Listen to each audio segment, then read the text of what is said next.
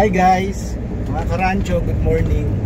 Papunta kami ngayon ng Tabaco Pier para sumakay ng barko papuntang Catanduanes. Kasama ko yung mga kapwa ko, kapwa ko doon, si Don Jose at saka si Don Irma. Yan naman talaga. Ah, Doña Irma. so pupunta tayo ng Catanduanes. Titingnan natin kung anong kalagayan ng mga tao doon. Mag-iikot-ikot tayo. So standby lang kayo mamaya. Kasi pupunta pa tayo ng pier eh. Pipila pa kami kasi isasakay na namin tong sasakyan sa barko.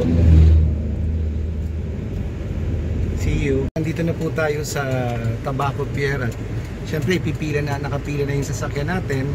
Tapos pa, pag oras na ng pag-akyat sa barko, saka kami lalarga para number 7 kami sa pila dito sa Roro. So maya maya, launa daw yung biyahe kaya hintay muna kami dito.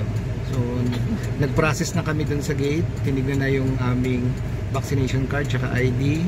Tapos kumuha na rin kami ng uh, stub para sa pagbayad ng terminal fee.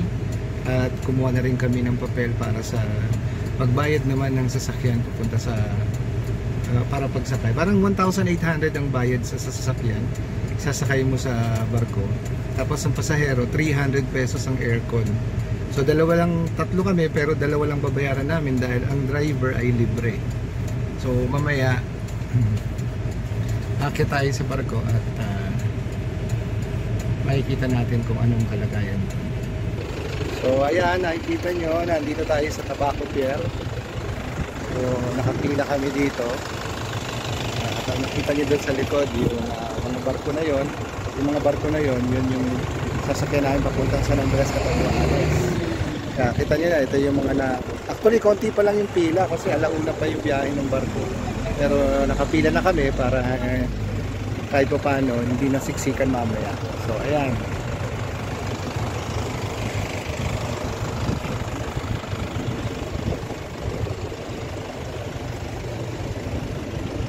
So, mamaya magkuha tayo pag nasa barko na tayo.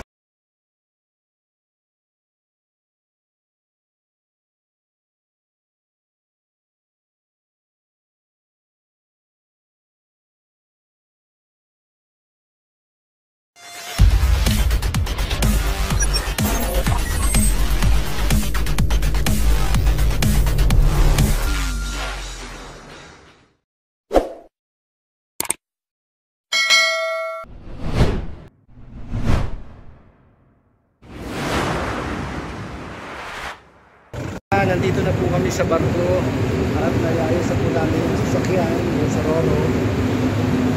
So akit po tayo kasi nandun po yung lahat po ng driver, pasahero dapat po nasa taas ng barko. So mga sasakyan lang dito. Sinisecure naman yan ng mga trabahador ng barko. So akit tayo. Ito ay uh,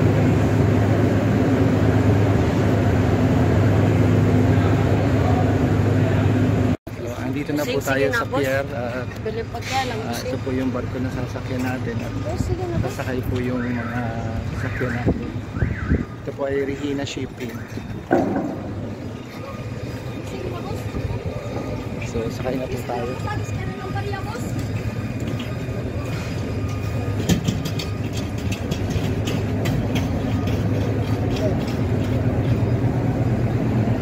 so ayan nakita nyo Regina shipping. So, akyat po tayo.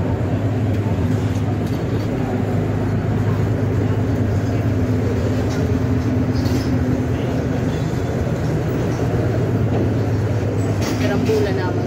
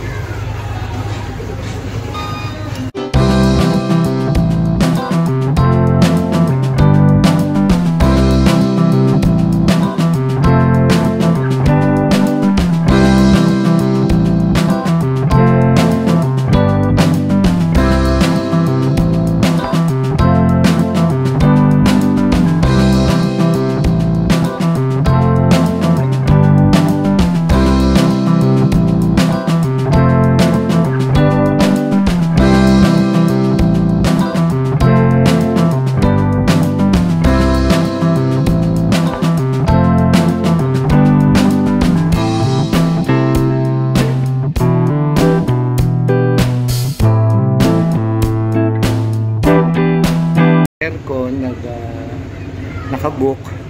Tingnan natin yung ordinary yung hindi aircon. So ito yung tinatawag na weather deck.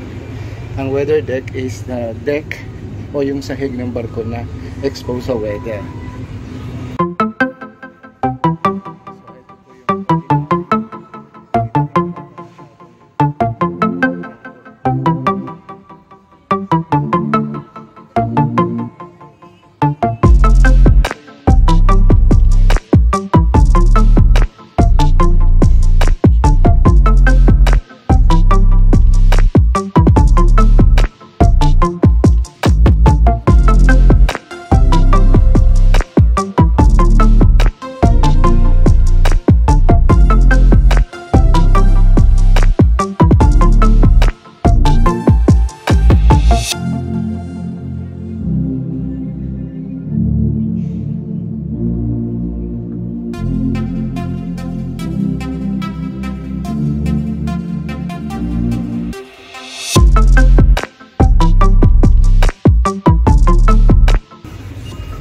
ito yung Pante, yung hulihan ng barko. Ayun yung Natunawan Island. So,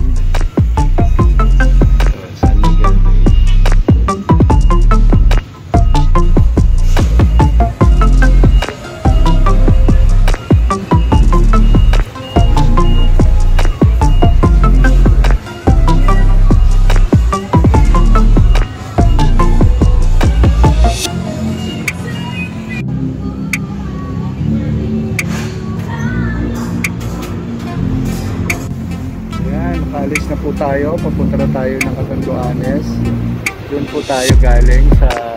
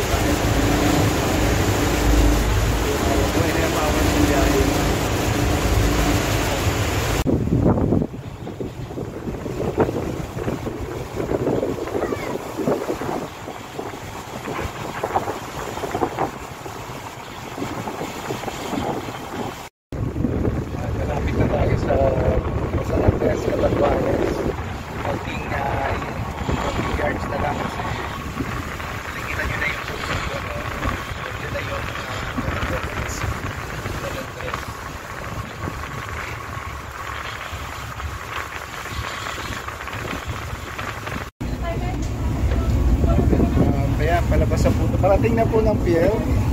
Uh,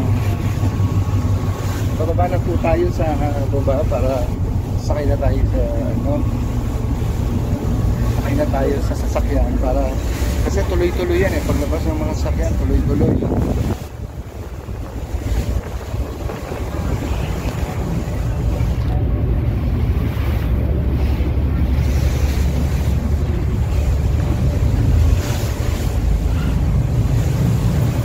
sakay na tayo para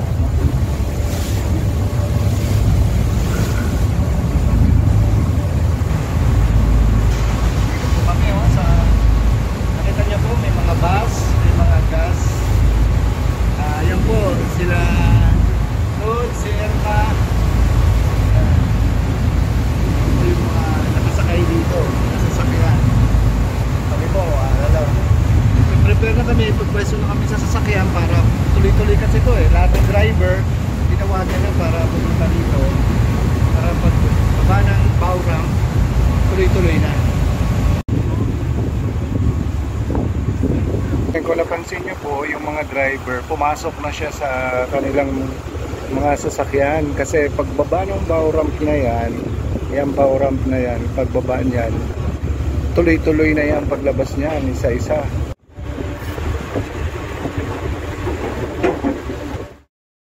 Kaya kung napansin nyo, bumababa na yung ano, yung bow ramp, binababa na po yung bow ramp.